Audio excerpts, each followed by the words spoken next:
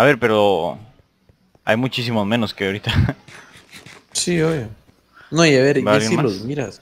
Lo que yo le dije a Rodo, man, el problema es... ¡No! ¡El vato tiró su pico!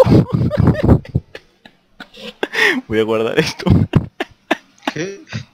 ¡Amigo! ¿Qué pasó? soy un.